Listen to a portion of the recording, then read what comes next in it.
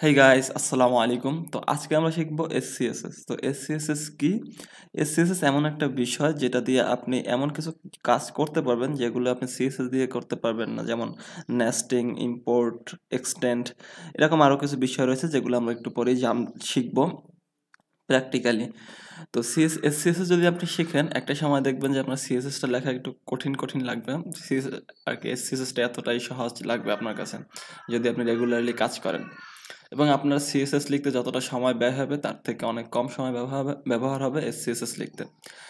তো সিএসএস এবং এসসিএসএস তেমন কোনো ডিফারেন্স নাই, কিছু কিছু জিনিস আছে যেগুলো তো আমরা এখন দেখব, মাত্র বিশ মিনিট লাগতে পারে অথবা তার কম বেশি লাগতে পারে, যাই হোক। তো চলুন, শুরু করা যাক। তো প্রথমে ফাইল সেটআপটা করে নিই, তো আমি ফাইল ম্যানেজারে চলে যাই।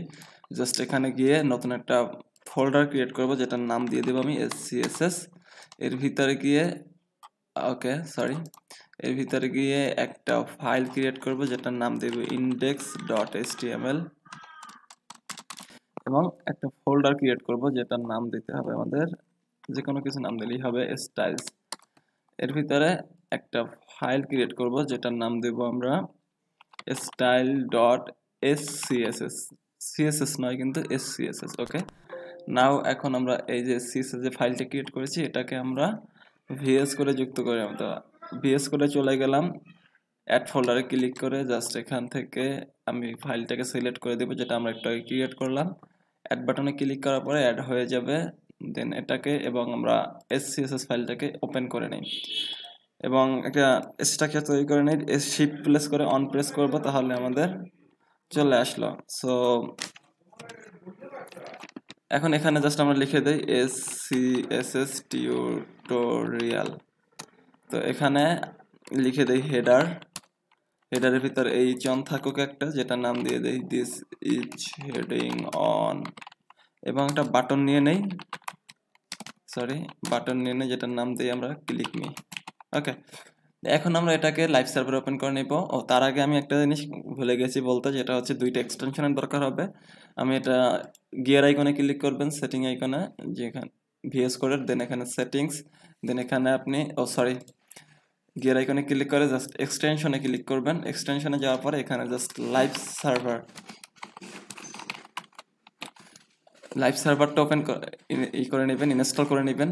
এটা, এই লোগোটা দেখে আপনি ইনস্টল করে নেবেন ওকে অনেক বেশি ডাউনলোড এটা প্রায় টেন মিলিয়নের মতো।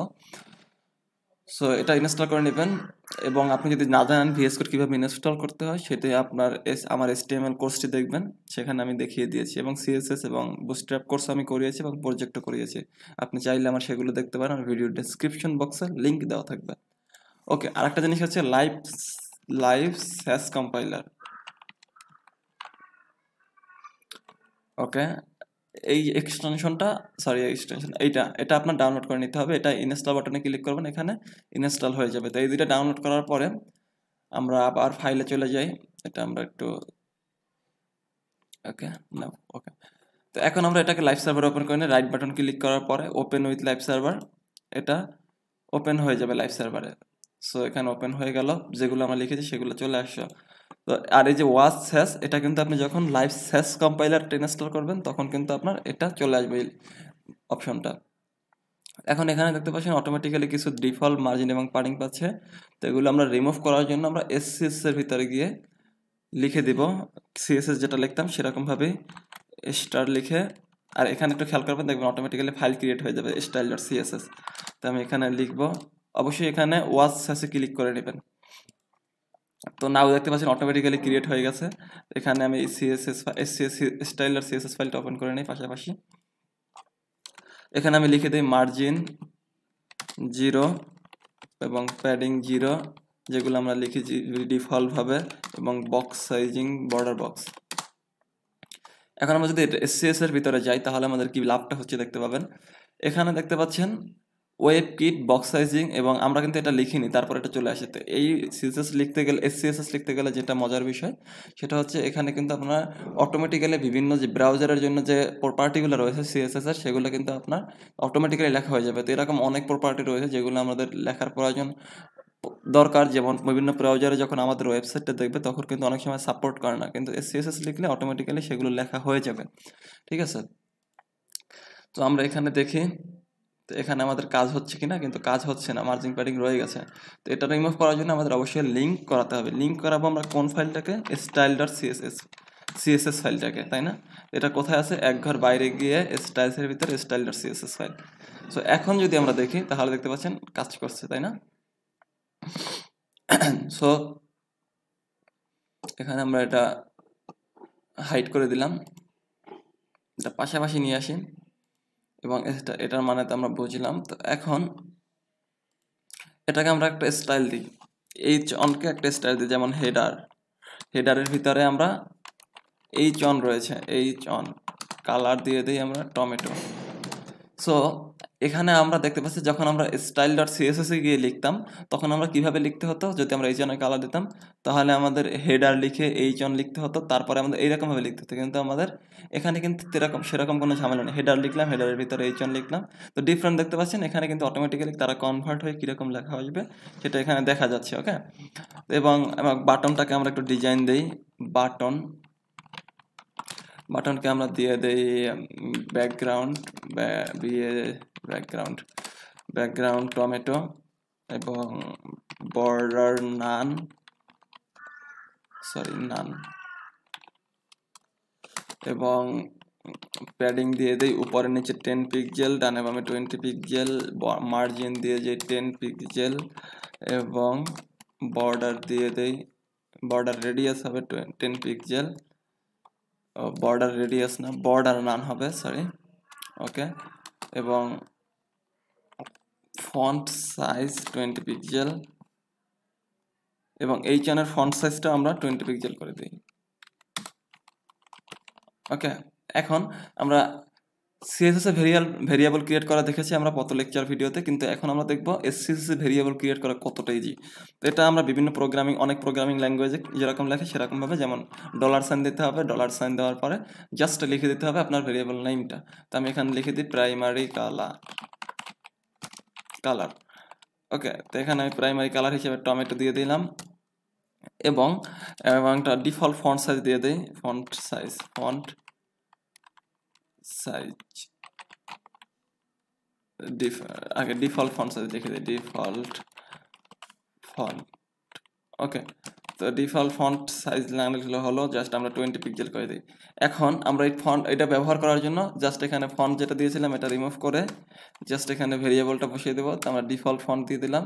তো নর্মালি ওয়ার্ক করতেছে এবং এখানেও আমরা কালারটাও আমরা ভেরিয়েবল থেকে নিব। কালারটা ভেরিয়েবল থেকে নেওয়ার পরে দেখতে পাবেন কালারটা কিন্তু দেওয়ার জন্য আমরা এখানে ভেরিয়েবলটা দেওয়ার পরে প্রাইমারি কালার ওকে আমি যদি এখান থেকে কালারটা চেঞ্জ করি, দেখতে পাবেন এখানে কালারটা চেঞ্জ হয়ে যাচ্ছে, ঠিক আছে?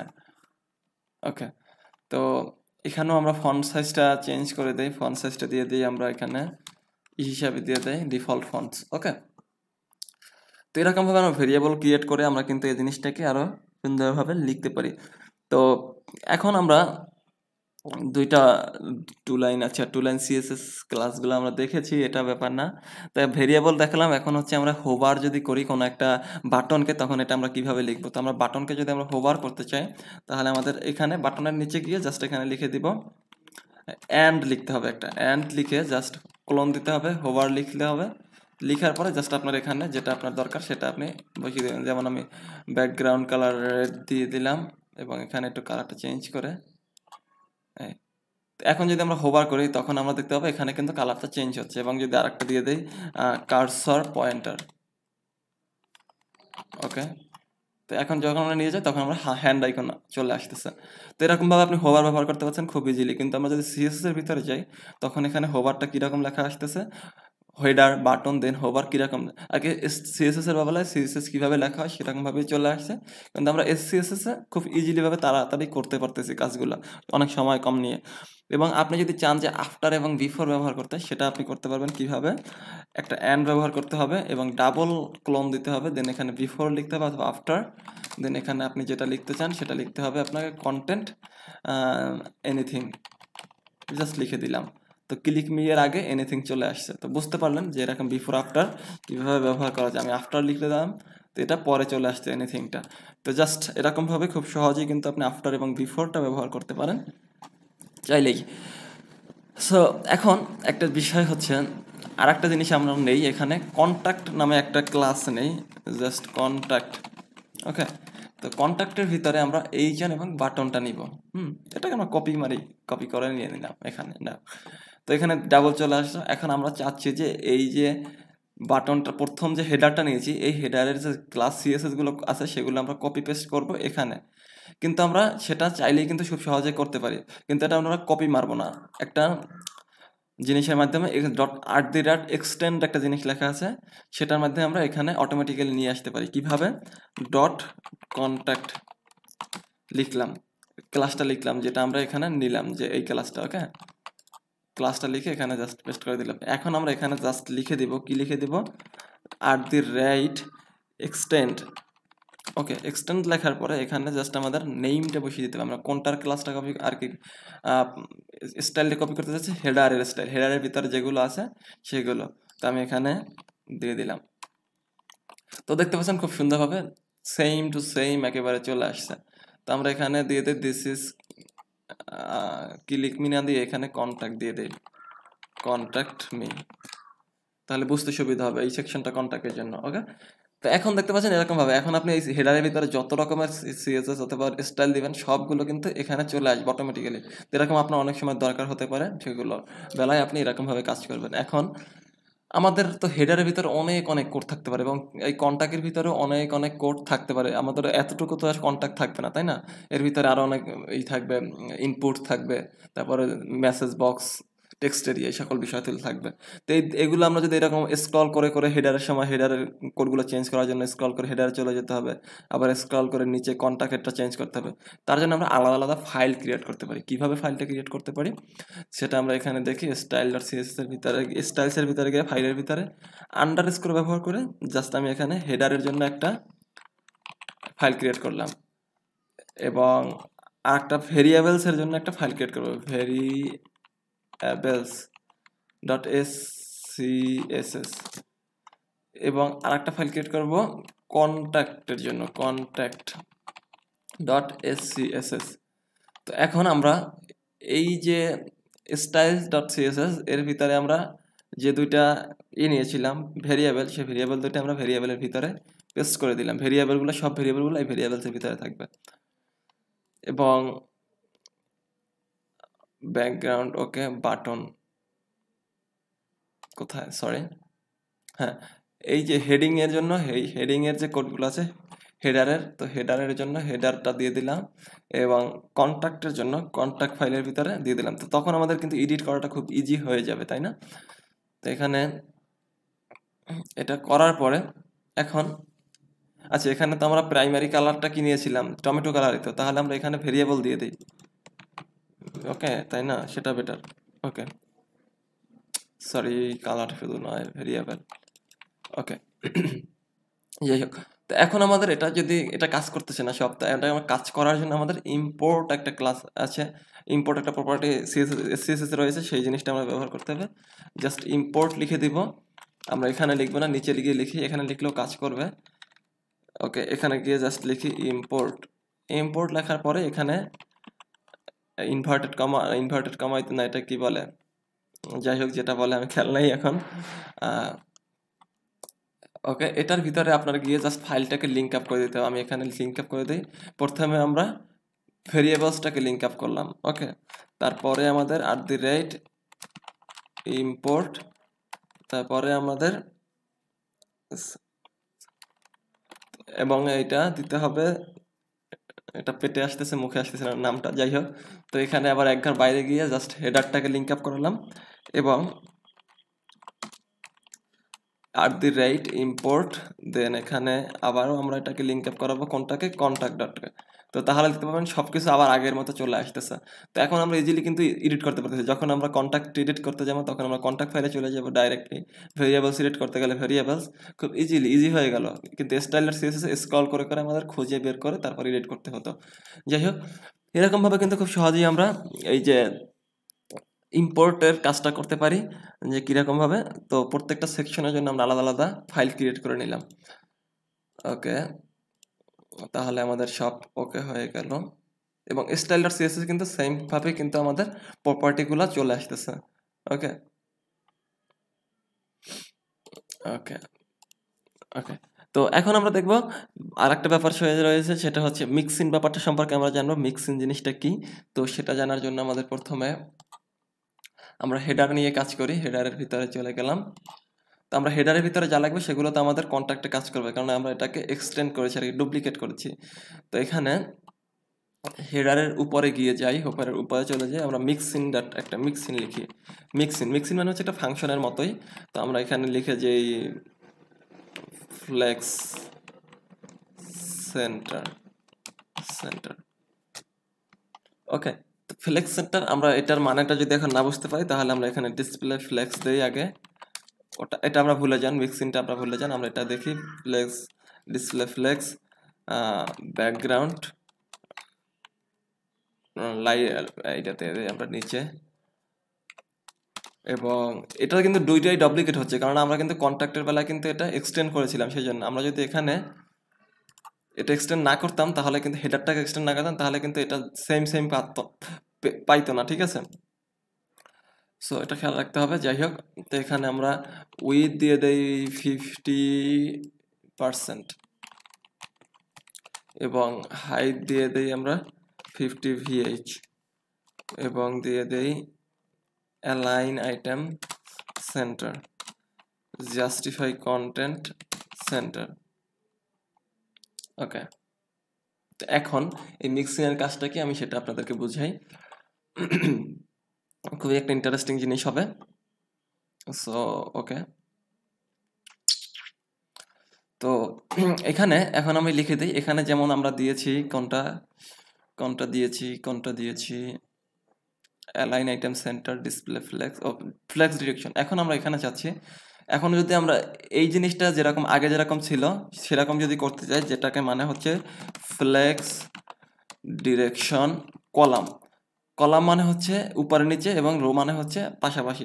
তো এখন আমরা চাচ্ছি যে এটা নিচে নিচে উপরে নিচে থাকবে, কিন্তু এটা পাশাপাশি থাকবে। এটা আমরা কীভাবে করব? এটা আমরা এই, এটার মাধ্যমে করতে পারি। তো এটা আরও ইজিয়ার হবে। আমরা চাইলে আলাদা আলাদাভাবে করতে পারি, কিন্তু আলাদাভাবে করার চেয়ে আমরা ফাংশনের মাধ্যমে করলে আরও ইজি হয়। কীভাবে করব? তো এখানে আমি দিয়ে দেই ফ্লেক্স ডিরেকশন কলাম।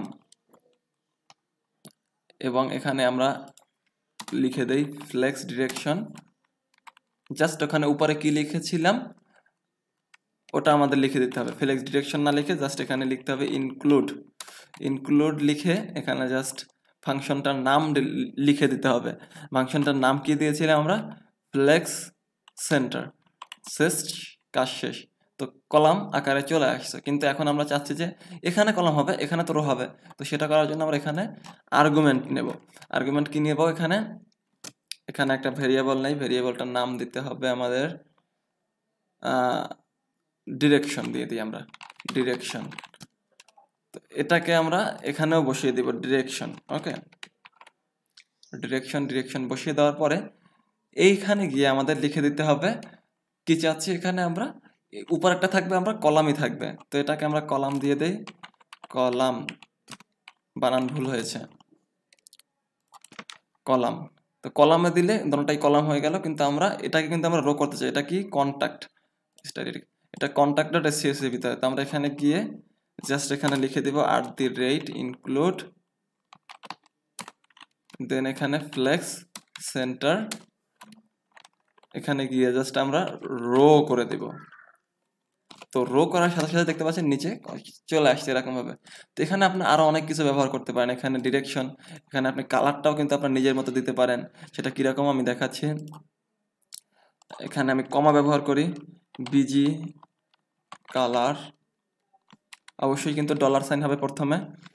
সো এখানে আমরা ব্যাকগ্রাউন্ড দিয়ে দিই ব্যাকগ্রাউন্ড দুইটার দুই রকমের কালার হবে। এটার একটা কালার হবে, এটার একটা কালার হবে। সেটা কীভাবে করব? সেটার জন্য আমরা এটা দিচ্ছি বিজি কালার তো এখন আমরা এখানে ব্যাকগ্রাউন্ড এটাকে মুছে দিই। ব্যাকগ্রাউন্ডটা মুছে দেবে দুইটা থেকেই। কাজ করতেছে না, কারণ আমরা এই যে আর্গুমেন্টগুলো সেট করতেছি না সেজন্য তো আমরা এখানে দিয়ে দিই। বিজি কালারটা আমরা এখানে দিয়ে দিই। প্রথমটা দিব রেড পরেরটা দিব ব্লু তো ব্লু আমরা এখানে দিয়ে দিই B L U E so now এখন নাইসলি ওয়ার্ক করতেছে। সুন্দরভাবে দেখতে পাচ্ছেন অনেক সুন্দরলি ভাবে কাজ করতেছে, তাই না? এটার মানে হচ্ছে আপনি ফাংশনের মাধ্যমে বিভিন্ন কিছু কিন্তু এক, একটা কোড লেখার মাধ্যমে আপনি বিভিন্নভাবে চেঞ্জ করতে পারতেছেন, তাই না? তো এরকমভাবে আপনি এই যে মিক্সিনের কাজটা করতে পারেন। তো আমরা এক্সটেন্ড দেখলাম মিক্সিন দেখলাম এবং ইম্পোর্ট সম্পর্কেও ধারণা নিলাম। এই বিষয়গুলোই হচ্ছে এসএসএস এর মূলত বিষয়গুলো মেইন যে সিস্টেম যে কাজগুলো করব আমরা এসএসএস এর মাধ্যমে। তো আমরা সিএসএস এর বেলায় কিন্তু আমরা এইগুলো কাজগুলো আমরা খুব কমভাবেই করতে পারি আর কি, করতে খুব ঝামেলা হয় ধরতে গেলে। যাই হোক, তো আশা করি বুঝতে পারলেন সিএসএসটা কি, কীভাবে লিখতে হয় এবং কীভাবে ব্যবহার করবেন। তো পরবর্তীতে আপনি যদি সিএসএসটা মুছেও ফেলেন, তাহলে কিন্তু আর আপনার কোনো সমস্যা হচ্ছে না। কারণ আপনার কিন্তু স্টাইল ডট সিএসএস এর ভিতরে সব কোডগুলো কিন্তু অলরেডি লেখা হয়ে গেছে। কিন্তু এটা থাকলেও সমস্যা নেই। আপনি কিন্তু এটা সম্পূর্ণ একটা প্রজেক্ট আকারেই ব্যবহার করতে পারেন সিএসএস থাকলেও নো প্রবলেম তো এখানে দেখতে পাচ্ছেন ওয়েব কিট তারপরে এম এস আর কি মজিলা ফায়ারবক্সের জন্য কোডগুলো অটোমেটিক্যালি লেখা হয়ে গেছে সিএসএস এর ভিতরে। তো আজকের মতো এতটুকুই ছিল। ভিডিওটি ভালো লাগলে অবশ্যই লাইক কমেন্ট অ্যান্ড শেয়ার হবে।